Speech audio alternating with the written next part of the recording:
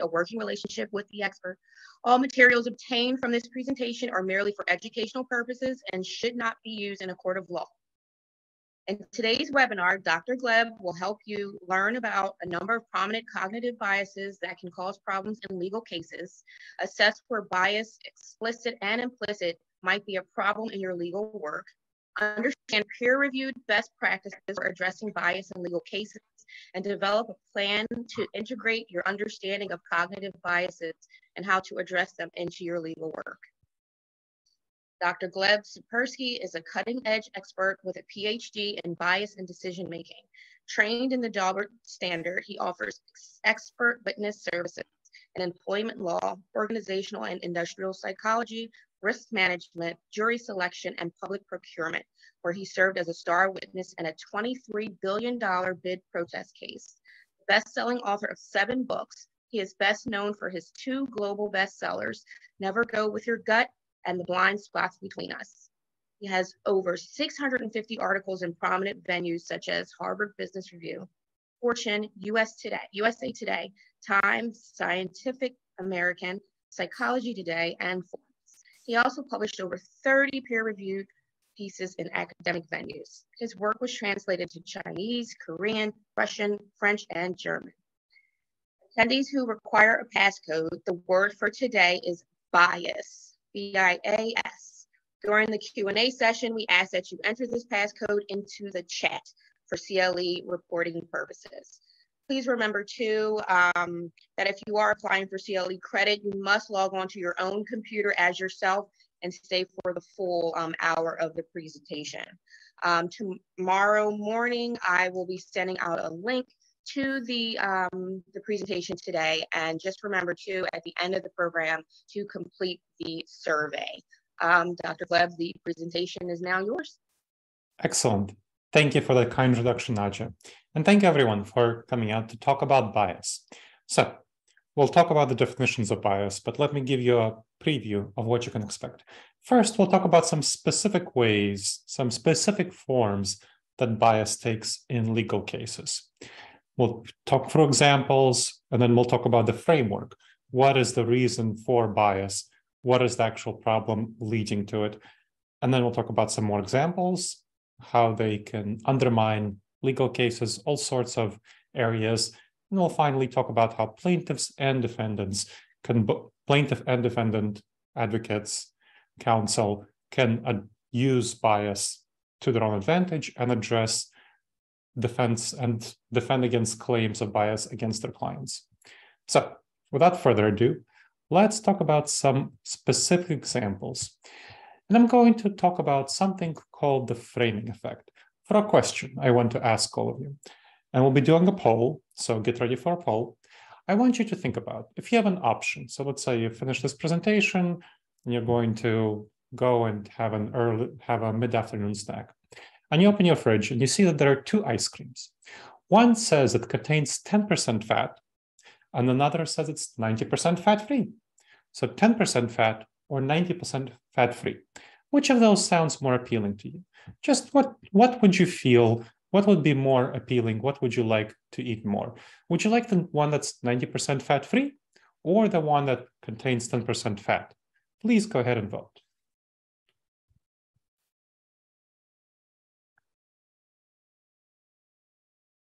So about two thirds of us participated. Let's give five more seconds for those who haven't made their voice heard yet.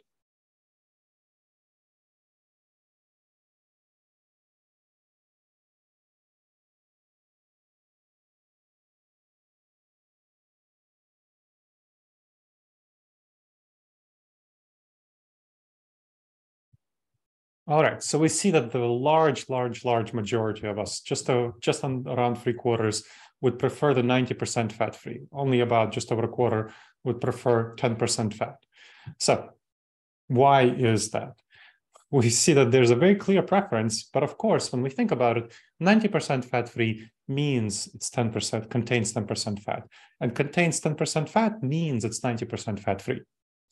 But there's a very clear preference. We have very clear intuitive preference for a certain outcome and someone says that fat is delicious, well, most people do not think that they would like fat even if it is delicious. So why is that? Of course, 90% fat-free sounds better because fat is something that is in our culture and our discourse perceived as a negative thing, leading to weight gain and so on.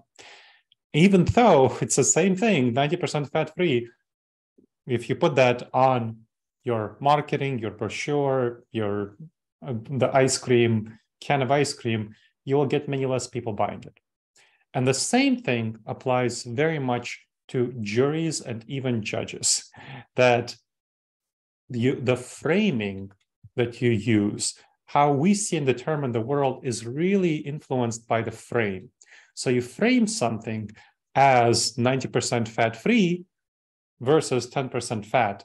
You will have people making very different decisions. So think about how different framings can shape our perspective on legal cases. The framing effect is something you really need to be thinking about. So, as lawyers, how are you framing the information you present to the jury? How are you framing the information you present to a judge? I mean, you might think judges are rational and all, but we have extensive research showing that judges are strongly influenced by various dynamics related to bias. For example, there was a famous study in Israel that evaluated judges doling out, judges giving parole sentences. Uh, so deciding on parole sentence, paroles or sentencing someone to prison for more time. And what the researchers looked at was their consistency in sentencing throughout the length of a day. They found that judges give very different sentences for prisoners who appear otherwise the same, same conditions, similar crimes, and so on, throughout the length of the day. In the morning, the judges are more very lenient, comparatively speaking, to the rest of the day. So they're more likely to grant parole. Now, as it progresses, the morning goes into the later morning, just goes into the early afternoon, they get progressively more restrained and risk averse. Then they take a break for lunch, and then it, the number of people who are granted parole, proportionally speaking, shoots up again. So again, same people, same cases, comparative cases, controlling for the severity of the crime, it shoots up again. And then it progressively goes down throughout the rest of the day. And so by the end of the day, the judges are quite unlikely to grant parole to folks. And so this shows you that judges are very much influenced by energy levels, by willpower, these factors which really shouldn't influence judges, right? Rational people. But judges are just as influenced as the rest of us by bias. And so are lawyers, and so very much are juries. Juries are more likely, of course, to be influenced by bias than judges and lawyers who are at least trained to address bias. But if you don't know about these cognitive biases, you're still going to be vulnerable to, like the framing effect. Let's talk about another one. So you might remember the famous line from the O.J. Simpson case. So if it doesn't fit, you must acquit, right? So that's a very famous line. I hope you remember that situation. Let's let me share with you an example from that case. So hopefully that will remind folks who might not remember it. You should be able to see my video now, and I will share the sound as well. So this is coming from the O.J. Simpson case in the mid 1990s when O.J. Simpson was on trial for accused of murder of his girlfriend. And this was a really famous situation where his defense lawyer was using what's called rhyme as reason effect. And this is talking about O.J. Simpson's glove, which uh, O.J. Simpson tried on and it didn't fit, supposedly, at that moment. And so his lawyer is using what's known as the rhyme as reason effect to try to defend him to the jury. Let's listen to this clip. O.J. Simpson in a knit cap from two blocks away is still O.J. Simpson. It's no disguise. It's no disguise. It makes no sense. It doesn't fit. If it doesn't fit, you must acquit.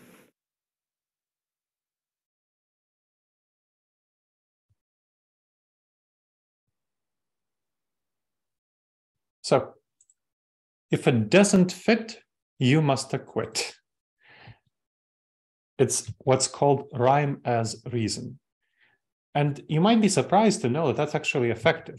We very clearly see that such phrases that have what's called cognitive fluency, that are easy to process, is something that people interpret to be more true. So the easier something is to process, the easier our brain accepts certain information, for example, because it rhymes or because it resonates with something we've heard before or it matches our stereotypes and predispositions, then people are more likely to perceive it as believable and create trust as trustworthy. And so this is something that you really want to be thinking about. Now, it might seem unfair if you're trying to think about what's fair and what's reasonable and what's rational. But you're lawyers, you understand that rhetoric is a key weapon that you're using. And so, in terms of rhetoric, something that you might not be realizing is that the even judges, but especially juries, will fall for the rhyme as reason effect, will fall for more broadly phrases that have cognitive fluency, ideas that have cognitive ease. The easier something is to process for a certain person for a certain member of the jury, for a group of people, all 12 jury members, then they will be more likely to be swayed by it. And this is something that you really want to remember and hone in your legal presentation. Now, here's the key, the framework. So those are two examples of these dangerous forms of bias. And the key here is that most of our decision making, whether we're jury members, whether we're lawyers, whether we're judges, all comes from our emotions, and we greatly underestimate the role of emotions in our decision making. So, recent studies show that emotions drive 80 to 90% of our decision. How we feel, not how we think. That is what is at heart of driving how we behave. When we do it comes naturally to us without using evidence-based decision-making strategies. And I'll talk about the evidence-based decision-making strategies involve learning about these cognitive biases so you can watch out for them and address them in your case. But if you don't learn about these things, you'll be vulnerable to them. And so will the judges and the juries with whom you interact. And you want to learn about these cognitive biases, the framing effect, the rhyme as reason effect, in order to be much more effective and influential as a lawyer. Now, Let's talk about forms of bias. I told you I'll define bias. There are two forms of bias. There's explicit bias. So decisions that are based in preconceived, prejudged notions, something like explicit discrimination, or let's say within a procurement contract, if there's corruption there, if someone is being bribed under the table, something like that. So it's something clear and explicit where there's a prejudged notion where someone is aware that they have a prejudged notion that they have that they are prejudging someone and that there's a reason for them to there's a motive for them to prejudge someone now there's also implicit bias which is the rhyme as reason effect is a form of implicit bias and the framing effect of both forms of, of implicit bias so implicit bias has to do with us failing to protect ourselves failing to address within our legal cases various forms of bias, like the framing effect, like the rhyme as reason effect. And that leads to poor decisions and bad outcomes for ourselves and for others as well. So we really need to be aware of these forms of bias and how they can address, they can be addressed. And so you want to be thinking about various areas of law. When you're thinking about this, the framing effect, the rhyme as reason effect, all of these explicit and implicit forms of bias they apply everywhere in law. In employment law, it's so common. When I'm an expert witness for racial discrimination, age discrimination, LGBTQ discrimination, sexual discrimination, I mean, there's so much that I see of this explicit and implicit bias alike. But public procurement, when procurement officials are not on top of protecting their procurement process from bias, happens so often. I, like I said, I did the Medicaid well, for $23 billion for this Medicaid case. And it's really the key here is that the procurement officials didn't protect the process from bias. Jury selection. I mean, you really want to know whether and how your jury might be biased. And so be, learning about these biases will help you learn about more effective jury selection. Criminal defense, like I said, to, we just had the example with uh, the the case. You know, if it doesn't fit, you must acquit. Right? O.J. Simpson. Business decision making. Uh, there's so many biases. I do consulting for businesses, and business leaders very often are taught to go with their gut, follow their intuition, and that leads to a lot of problems in their business decision making. That leads to a lot of legal cases. I mean, the big, big one right now is that FTX, the crypto exchange collapsed because Sam Bankman Fried made some decisions with his gut that were very bad. And that's going to lead to a lot of lawsuits and lead to lawyers making, honestly, a lot of money from pretty biased decision making by business leaders. Bankruptcy. So that's we're talking about there, there's fraud, there's all sorts of criminal cases and stock and so on, and there's that lead to bankruptcy, a lot of laws around there. Police misconduct. Police, unfortunately, exhibit a great deal of biased behavior and biased statements. And we see this with in the news now, the Tyre, Tyre Nichols case and many, many others. There's plenty of other areas. I'm not going to go through all of them, but I think you can imagine them and you could think and if, about how they apply to your own practice. And the key here is that people like Sam Bankman Fried, like judges, like jury members, like lawyers, are very often taught to go with their gut. Gurus tell us to go with our gut, follow our heart, trust our intuition, that whatever feels internally right is a thing that's likely to be true. So there's an equation, we equate what's good, what feels good in our gut, like this cognitive fluency. If something is easy for us to process, if, we're, if it's cognitively fluent, we will feel internally that it's more likely to be true. We will feel with our gut that it's more likely to be true. If there's a framing effect, we will feel that one framing, that uh, something is 90% fat free, that feels better to us, more pleasant. We want to eat it rather than something that contains 10% fat. So trusting our gut feels very comfortable, but it can often lead to disastrous decisions because our gut intuitions did not evolve for the modern world. They evolved for the savanna environment, that ancient savanna, when we lived in small tribes of 50 people to 150 people. And that causes a lot of problems because in the savanna environment, it was really important to be loyal to your own tribe members. If you weren't sufficiently tro- loyal, well, you know, they might kick you out and then you would die. And that's not great for you. So we're the descendants of those who didn't die because they were sufficiently loyal and weren't kicked out. It's also very important to be hostile to other tribes because otherwise that tribe might take yours over and you would die as well. And you notice that we're descendants from those who didn't die. So we're loyal to our own tribe and we're hostile to other tribal members. And a lot of these cognitive biases, these dangerous judgment errors, stem from tribalism. Another source of these dangerous cognitive biases is the fight or flight response to threats, which was very important for hunter gatherers because the risks they faced were immediate, intense, in the moment, like saber-toothed tigers. You might have heard of it as a saber-toothed tiger response. You know, it was more important for us to jump at 100 shadows than to miss one saber-toothed tiger. So right now, we are very much triggered to jump at 100 shadows and to very strongly react to stimuli that are immediate in the moment, but they might not be nearly as important as more contextual things. We have many less saber-toothed tigers in the modern world, but we tend to overreact to short-term stimuli.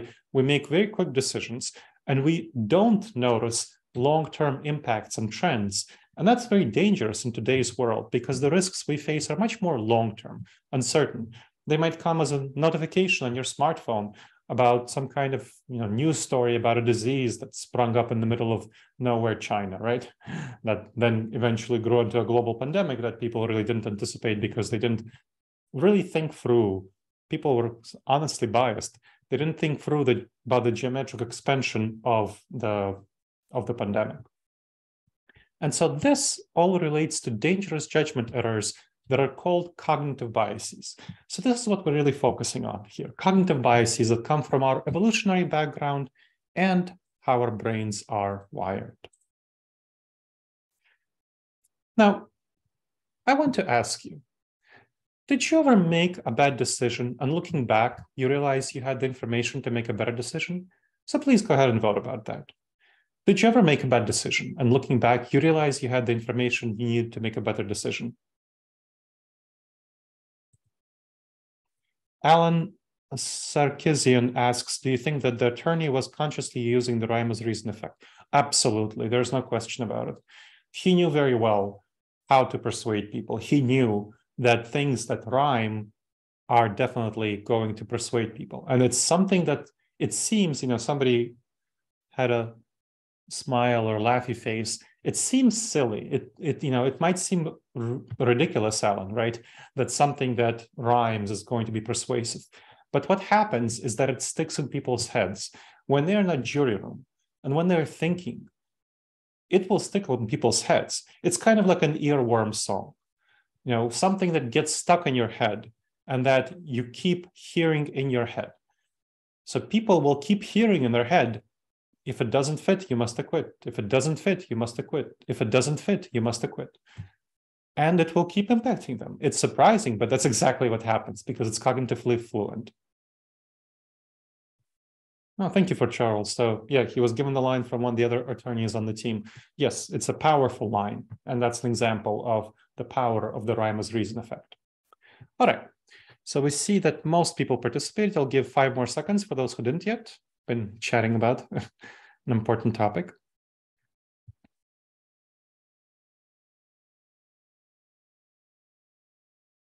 All right, we see that this happened to the, the vast, vast, vast majority of us, like over 90%. So yes, so then you can feel the impact of a cognitive bias. Because if you had the information to make a good decision, then, I mean, I know this happened to me, you know, having the information needed to make a good decision, but not making good decision.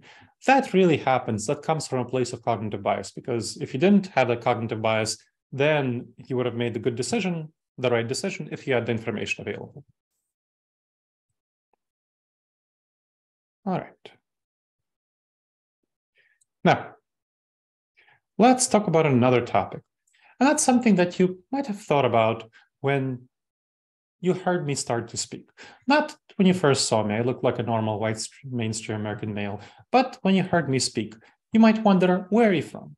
I'll be happy to tell you. I'm Ukrainian and Moldovan heritage. So Ukraine, unfortunately, is way too famous right now. It's that country right above the Black Sea. Hopefully, you know that. And Moldova is right below Ukraine to the southwest of Ukraine. So the, my dad is Ukrainian, my mom is Moldovan, and they married, they met and married, and I grew up in Moldova. And so I was born in 81, and my parents came to the United States in 1991. I was very glad that they came, especially 1996, when I saw a World Values Survey that showed that Moldova was the least happy country in the world of all the countries surveyed. I don't know why it was the least happy country in the world. Fortunately, I didn't grow up there, but I was especially glad that they left in 96 when I was 16, that uh, I was not there at the time. So I settled in New York City. So that's home for me. And I grew up, and my parents taught me to be proud of my cultural heritage. And so growing up in New York City, which it's a cultural melting pot, you know, you go a block, you hear a, a dozen accents. So I chose to keep my accent because, again, my parents taught me to be proud of my cultural heritage and because it was just such a diverse city. You know, I live in Columbus, Ohio now, so go Bucks. If I lived in Columbus, Ohio when I was a kid, I probably would have chosen to work on dropping my accent, but I didn't. For me, what I realized later was that when I later went and lived, uh, so I got a master's at Harvard, I got a PhD at UNC Chapel Hill, and when I was getting a PhD at UNC Chapel Hill, Chapel Hill, I came across something that made me regret not dropping my accent. The research on accent discrimination. So, accent discrimination. People who don't have a mainstream American accent, especially people who have a foreign accent, are perceived as less trustworthy. So, it's a false perception, of course. People who have a foreign accent are not actually less trustworthy but it is there. It is a false perception of being less trustworthy. And that's something you really need to know about. as lawyers as you're thinking about this, as you're communicating to others. It's a false perception, and it's part of a broader dynamic of cognitive biases called the halo effect and the horns effect. The halo effect and the horns effect. The horns effect refers to someone having little horns. If you dislike one characteristic, like their someone's accent, someone's ethnicity, their appearance, their religious values, their cultural background, then you'll tend to dislike that person as a whole. You will tend to not trust them. Of course, this all comes from tribalism. Remember, it was very important for us to be hostile to other tribes. So if it's something that is different than you, something that signals that that person is not from around here, that they're different from your tribe, you will tend to not like them as much, not trust them as much. The halo effect is the opposite. It's kind of like someone has a little halo on their head. So if you like one characteristic of someone, you'll have too positive view of their other characteristics because it'll seem like they're part of your tribe. So you can see the obvious negative implications for legal cases, right? Let me give you an example of how this works out in real life.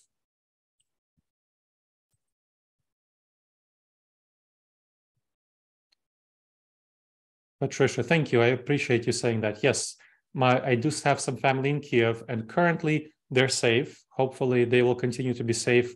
They definitely have some electricity shutoffs given Russia's bombing of the electricity substations, and that's definitely an issue. But so far, they're safe. I thank you for checking on that. Okay, so the context is for this video. I was giving a presentation to the Central Ohio Human Resources Association. This was their annual diversity inclusion conference. There's over 100 people here. I'm giving a closing keynote to over 100 HR leaders who came to a diversity inclusion conference. Obviously, they're passionate about this topic. And I'm talking about hiring people. And for the context, Central Ohio is the home of the Ohio State Buckeyes. So go Bucks, right? And that is something that's very important because I'm asking them about whether they would hire someone from the University of Michigan. The University of Michigan is our longtime big rivals just up north. Unfortunately, they beat us last year, so hopefully we'll get them back this year. So let's see what happens when I ask the human resource over 100 leaders of HR whether they would hire a University of Michigan fan. And remember, they're located in Central Ohio, so they're Buckeyes fans. So, as you know, I'm a professor at Ohio State. I'm contractually obligated to root for the Buckeyes. I'm guessing there are a lot of Buckeyes fans here, you know. Go Bucks, right? Yo, there you go. Now, how likely are you to hire a Michigan fan? See, three people. So that's three people out of over 100. Pay attention, those of you who are in employment law. Now, regardless of how we feel about Michigan fans and their poor, poor choices in which team to root for, does that indicate anything about their performance as an employee? No, I know. Come on, that no should be stronger. so, as you saw, I gave them an opportunity to change their mind only three people out of over 100 with higher University of Michigan fan. I gave them a chance to change their mind and they wouldn't change their mind. They're clearly sticking to their positions. Now, this is about fandom. This is about which team you root for, right? Talk about tribalism. It seems like it's completely insignificant from a HR perspective, from the hiring perspective, but clearly this made a huge difference. So think about more significant things like race, ethnicity, gender, ability, and so on, and why lawyers with employment law have, on discrimination, have so much work. The halo effect and horns effect are incredibly important to understand and remember. And if HR folks, and especially business leaders, don't have training in cognitive bias and halo effect and horns effect and aren't watching out for it, then they'll be making mistakes right and left. Now, Let's talk about another one, the confirmation bias. Our instinct when we look at reality is to see the world through rose colored glasses. So we tend to search for information that confirms our beliefs and reject information that challenges our beliefs. So the confirmation bias is something you really want to be thinking about as lawyers. it's omnipresent in legal situations. Lawyers on one side, lawyers for the plaintiff tend to look for information that supports their cases. Lawyers for the defendant tend to look for information that supports their cases. Of course, you're advocates. But what I see lawyers as not doing sufficiently is looking for information where their case is weak and trying to plug the gaps in their case. And of course, there's so much stuff that goes on with how juries make their decisions, how judges make their decisions, that is very much impacted by confirmation bias. Anchoring bias, this is a huge one. So the initial piece of evidence that we get about a topic is incredibly important. It's much, much more impactful than the specific evidence, than the subsequent evidence, because the subsequent evidence is all assessed through the lens of the first thing someone learns. So which is makes it a very much stronger case for, let's say, moving jurisdictions, if the jury knows something about a jurisdiction. So first impressions are key. That's why it's very important to think about what kind of first impression you give a jury. It's very important to think about what the jury knows. It's also very important to think about what the, what the judge knows and how they will be making their decisions. So the anchoring bias is a very, very powerful tendency that can definitely strengthen or undermine legal cases. And you want to be aware of it and use it effectively. Now let's talk about our attention.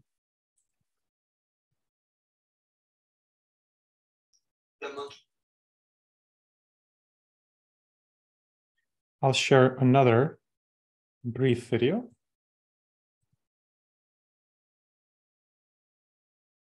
And this one's kind of self-explanatory. So what it will ask you to do is count the number of times that players in white pass the ball.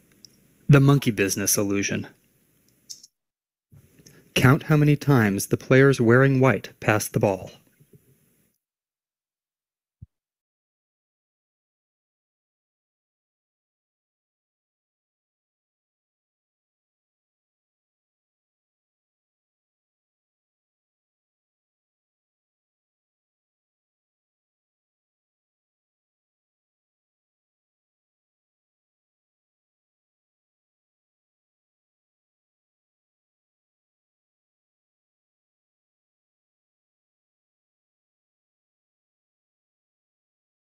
The correct answer is 16 passes. So 16 passes. So for those of you who got it right, for those of you who got it wrong, the correct answer is 16 passes. Let's go on. Did you spot the gorilla?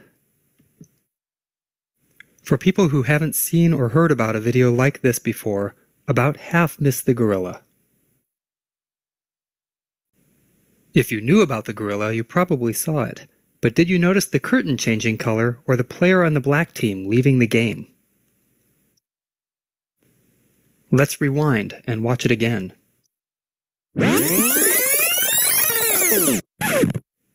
Here comes the gorilla, and there goes a player, and the curtain is changing from red to gold.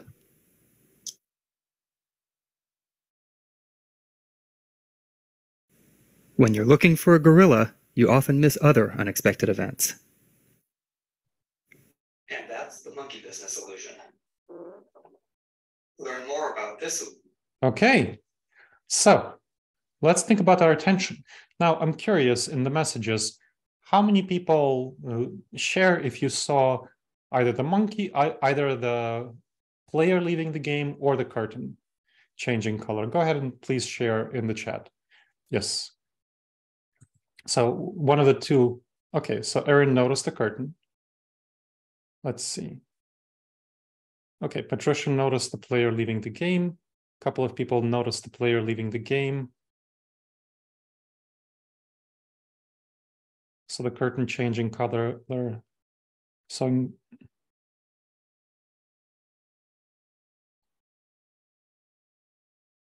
just, I don't think anyone yet saw all three. A couple of people saw either the player or the curtain. But uh, yes, so the gorilla and the player, the gorilla and the curtain, but not all three. Okay, so Lawrence says he saw the curtain and the player leaving. Excellent. That's pretty rare and speaks a lot to your attention. So where is your attention? Let's go on. You want to be thinking about cognitive bias called the attentional bias because we pay attention to what we feel is most emotionally salient, regardless of whether it's the most important thing. So we often miss other important information about the context. What it's a legal case, it's pretty obvious that it's very easy to pay attention to what's emotionally salient. When we're uh, when our attention is drawn to the ball, counting of the ball, we'll tend to focus on that. And sometimes we'll miss something as huge as a gorilla. But maybe maybe won't. I mean, it's kind of like the saber-tooth tiger response. It's important to pay attention to a big creature like that. So some of us will see the gorilla, but it might be very important to understand what's happening with players leaving the game. And it might be very important to see what's happening with other people on the team, the dynamics, curtain changing color, the context changing, lots of things we might not notice about a legal case lots of things that the juries might not notice. So think about the jury or the judge. When you're presenting a situation to them, presenting information, how can you draw then their information, their attention to the things that you want them to pay attention to? And think about what's going to be most likely to be emotionally salient to them. Because they will likely just be paying attention to that, whatever they feel is the most emotionally salient. And so uh, the attentional bias speaks to how we can influence and manage other people's attention and how our attention tends to be misled very easily, like the, with the gorilla and the so on curtain changing color, and we miss really important dynamics of what's going on. Now, before we talk about dealing with bias in legal cases, I want to ask you so Jeffrey asks, what makes a gorilla important? So from the savannah perspective, from the savannah environment, you know, it was pretty important if a gorilla was coming into your uh, into the middle of your tribe. You know, they might snatch away a baby, you know, steal your food or something like that. Gorillas are very strong, so you definitely want to be aware of it. All right, let's vote on which of these cognitive biases discussed so far do you think might have the biggest relevance for your legal cases? Framing effect, rhyme as reason effect, confirmation bias, anchoring bias, attentional bias, or the halo and horns effect. Please go ahead and vote. Which of these do you think might be the most important? And don't forget, as Nadia points out, typing the passcode, which is bias, into the chat. So the passcode is bias. If you didn't type it yet, please do. If you already did, no need.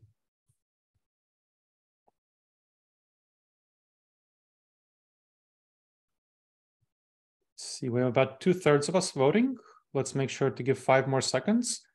So besides typing the bias into the chat, make sure to vote.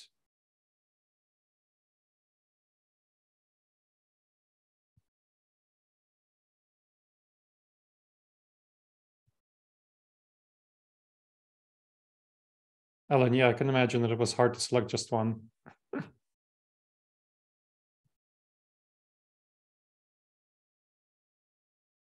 Okay, so we see a pretty good distribution. You know, we're starting from just around 10%, 9% with the rhyme as reason effect, going to the anchoring bias and the Halo and Horns effect, and then free tide for the first place, framing effect, confirmation bias, and the attentional bias. And that's important for you to know all of these things. And Patricia says they probably all come into effect depending on the case, of course. So I'm just asking in your experience, what's the most important one so far? Okay. Let's talk about dealing with bias. It requires a thorough understanding of these biases, of course, both the specific biases themselves and the underlying mental framework leading to these biases. And I'll send you all a copy of my books so the books on these topics so that you can get that understanding. Obviously, just this presentation itself, there's over 100 cognitive biases. There's 30 that are really important for legal cases, all sorts of professional settings. You'll get my books, you'll, they will talk about them. If you're representing the plaintiff, so let's talk about both sides. If you're representing the plaintiff, what do you do? You want to look for biases that might have caused the defendant to make bad decisions. That's key for you because you're, of course, if you're representing the plaintiff, you're going to be on under attack. So when I represent the plaintiff in employment law, public procurement, when I deal with police misconduct, there's a lot of time focused on looking for biases that might have caused the defendant to make bad decisions that harm your client. And so what you want to do is show, demonstrate that the defendant didn't take the steps necessary to learn about the biases and then protect from these biases. So, and therefore made bad decisions. And again, making bad decisions stemming from implicit bias is what we're talking about here. And sometimes these cognitive biases, of course, will lead to explicit bias. So it depends on the situation. Sometimes it's going to be explicit, sometimes it's going to be implicit. We see in employment law implicit bias is everywhere. You know, it's also definitely takes place in when you want to think about police misconduct, when you think about jury selection, when you think about business decision making. Oh my, what gosh, there's so much implicit bias there and explicit, of course. So you want to support your case of the defendant's liability and you want to be thinking about protecting your own client from bias.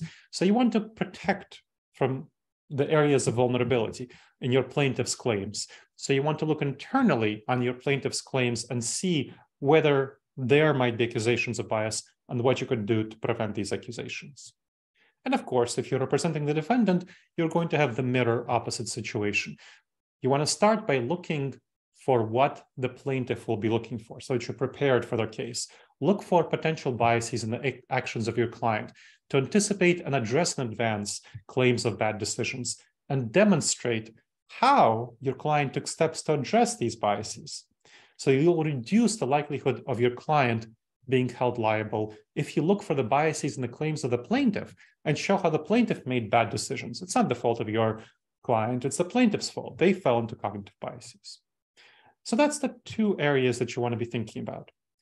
And I want to ask you, before talking about the free resources, what do you think would be the value of learning about and addressing bias in your legal cases? Would it be not valuable, moderately valuable, or highly valuable?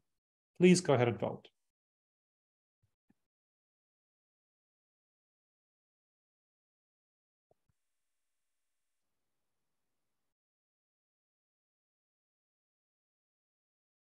Okay, good. Most people voted. Five more seconds. If you haven't voted yet.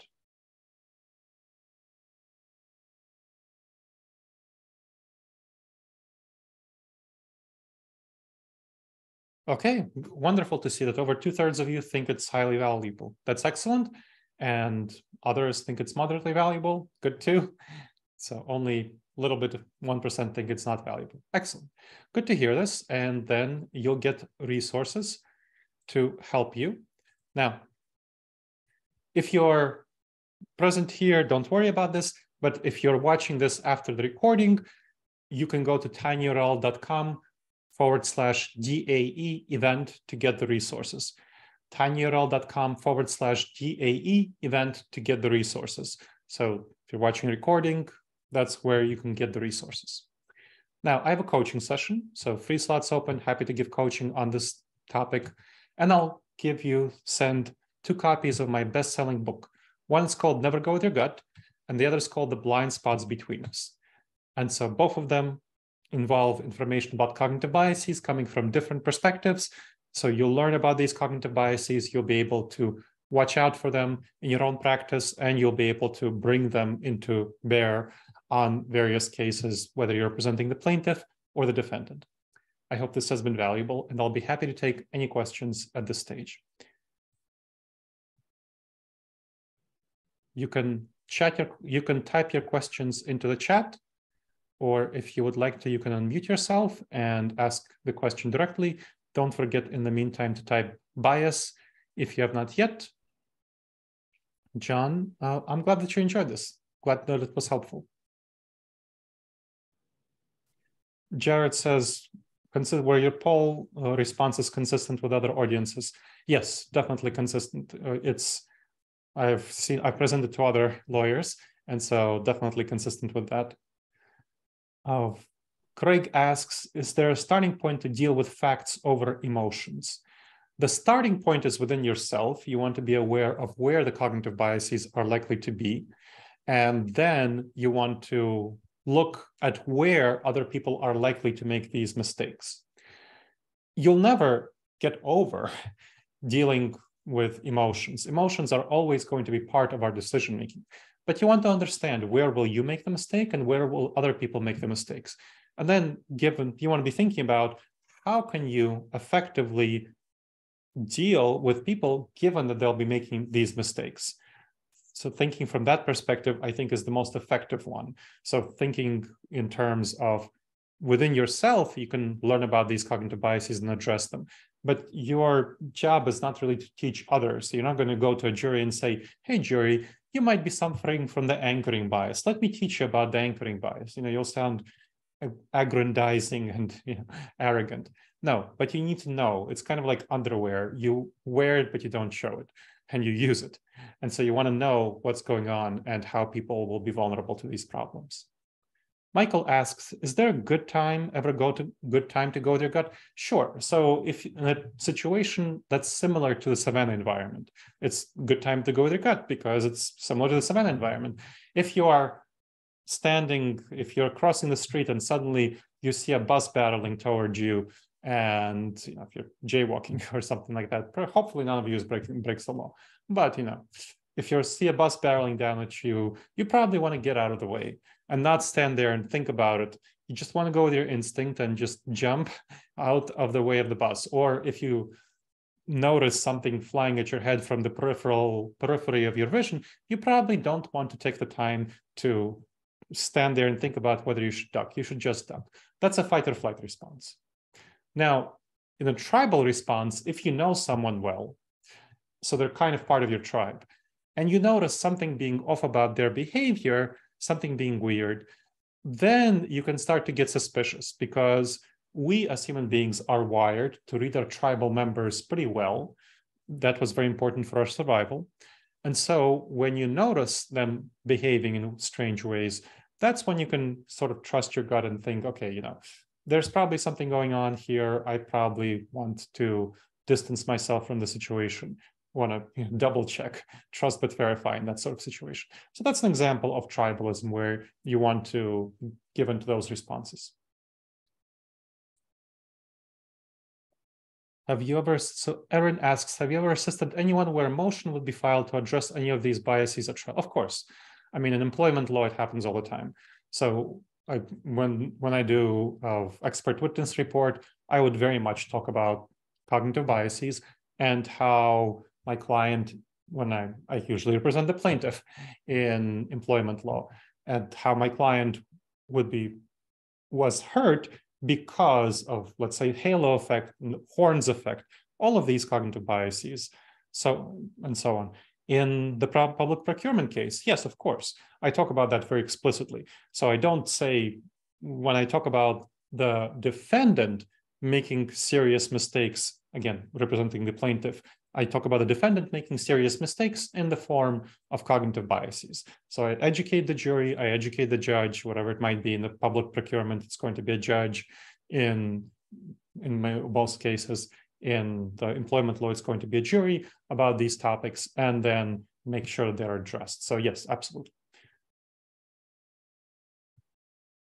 Diane asks, are you aware of any testing done to determine our own personal biases? So in the book, the Never Go With Your Gut, there is an assessment on these cognitive biases for yourself to take, and for yourself, for your workplace, for your group. So you can take it and you can see what kind of impact it has on you.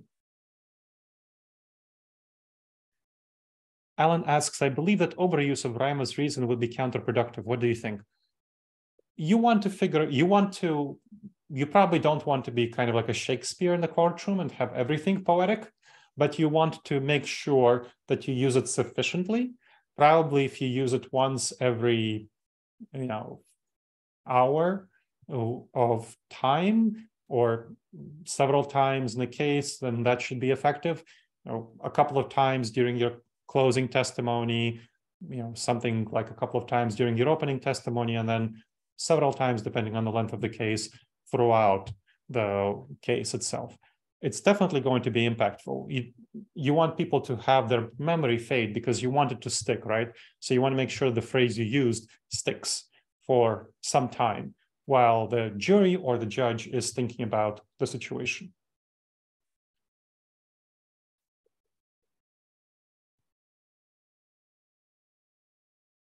Do I, so Ellen asks, do I serve as a jury consultant like the TV show Bull, Sure, yes, I serve as a jury consultant and help address these issues when there's issues like tainted jury, kind of evaluating these things. Have you ever been involved in excusing a judge for bias? I have not been explicitly involved. I have I have been asked about it and I've talked about it, but never as an ex actual consulting expert. So Sharon asks, how can these concepts be applied in jury selection? So you want to be very much aware of things like the anchoring bias and things like the framing effect. So you want to think about, ask how the jury, when you're asking the jury questions, you want to ask about how the jury is framing the issue at hand. And the issue around framing is not something that I see lawyers typically ask, but it's a very powerful question because then you ask about the context and how the juror is thinking about this. The anchoring bias, you know, you want to ask, what is the first thing you heard about this topic? So thinking about these issues, these sorts of issues will let you know where the jury is. The attentional bias, you know, what do you, what asking a juror, potential juror, what they think is the most salient aspect of this trial for them. That is, again, not a question I hear many lawyers ask, but it's a very powerful question. Again, uh, gets at that bias.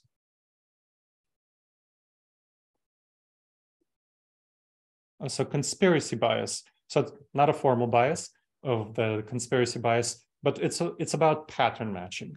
So one of the other things I didn't have time to talk about in this presentation, I do when I do a three-hour presentation on this topic to lawyers, is pattern matching. That's another dynamic that's coming from our evolutionary environment.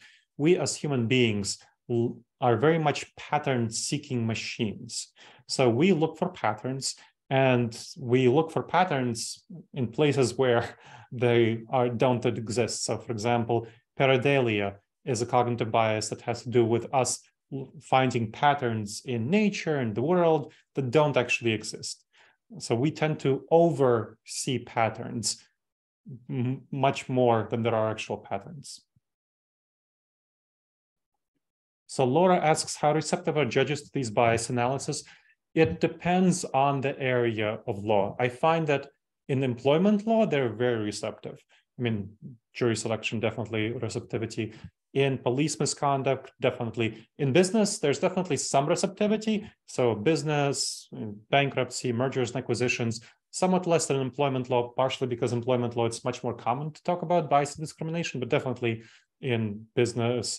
In procurement, there's somewhat less receptivity because it's kind of a newer topic, but it's increasingly becoming accepted in procurement law as well.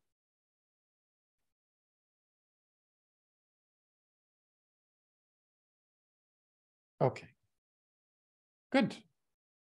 So I don't see any other questions.